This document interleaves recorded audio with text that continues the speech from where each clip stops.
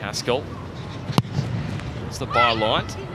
Ends it back. There was no one there. And on the volley, Britt Eckerstrom showing exactly what she's done all season as Colaprico volleyed towards goal. Taylor Ray.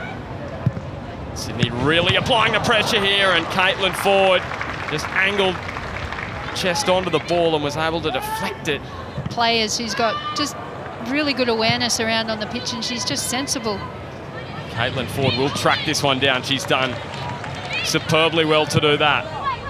Bends it in. McCaskill, there it is. It was coming for Sydney FC. She's had the most shots for them this year, and she's got her second goal. Kingsley. Almost found a Warner's Bay teammate in Davis. And Collister. Well, it didn't seem to have too much power on it, but it certainly worried Aubrey Bledsoe. He was looking to shoot as well. Forward. McCaskill's there again.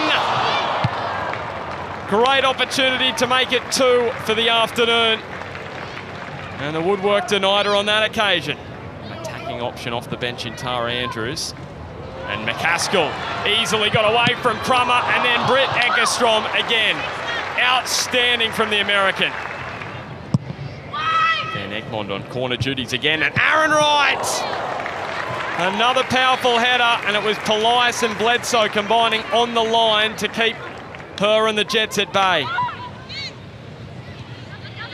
Huerta did brilliantly well to slide in between defenders and deliver a pinpoint ball for Princess Ibini, who scores off the bench for the fourth time this season. On the bounce for Tara Andrews.